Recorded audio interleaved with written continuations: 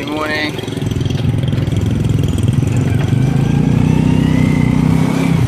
There's my bike. Heading out 7.20.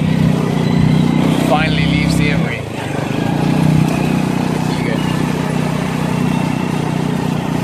It's my bike. Bit of a minor setback. Uh, it's gonna be hard to explain. I was going to hitchhike with a guy called Hugo who I sold the bike to, but he told me to get on the minibus uh, calling in a favour. The driver didn't tell me to get off at the right stop, so I went too far. They then try. He then called up that company and like had a massive, massive go at me like over the phone. Tried to charge me fifteen dollars for like forty kilometers of more traveling. Uh, uh, and now, yeah. and now what I'm gonna do is try and hitchhike to the border. So I think it's this bridge over here. Walk over there, try and find a ride 60 kilometers to the border, and the border shuts at 5. It's 2 o'clock now. Right.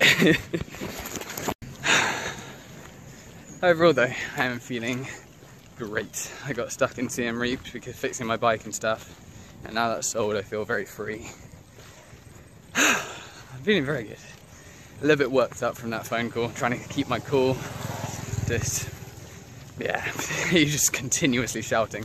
He was Spanish. Uh, yeah, not the nicest of uh, arrivals, but I feel so free right now. I can literally do whatever.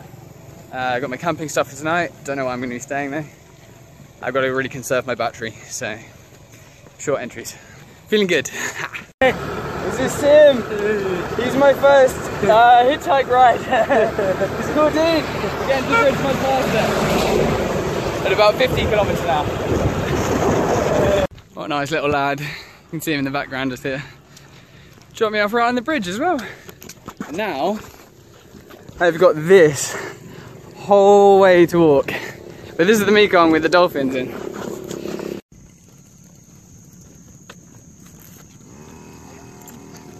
I'm in Laos, just past the border. It's 4.30. Uh, they charge a dollar extra for paperwork and they charge two dollars on Cambodian side and two dollars on Laos side. So actually it works out as forty dollars.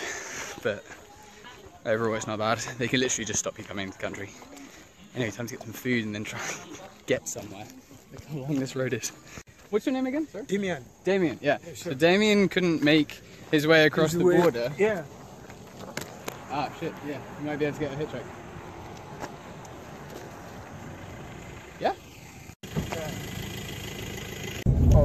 Oh, Yep.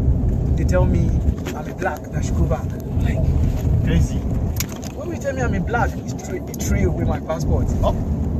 How come, man? Oh, you should. So you are from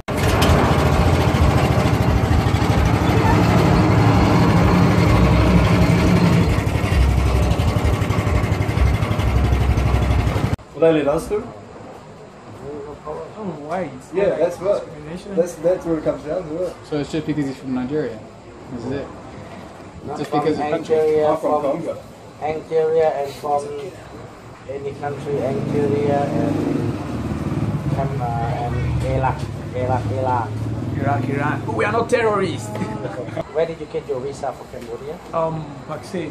Uh, to say, okay, when I got the visa from Pakistan already, should I go by transport, by land or by airplane? You must ask him that. And then he will explain to you. So they give Yeah, if they did they give you like a plane visa No, or no, no, no. Surely a visa for, is a for visa. they, you, if you if he want go by bus, they must writing down on the paper on your visa. Say, okay, this guy can go by bus, can go by land, but you don't ask him that. do you know that they wrote down plane on his visa? No, no, no, no. They don't write. But it's maybe what you think. No, no. Just say write down all the visa for the for the transport. Yeah, yeah, yeah.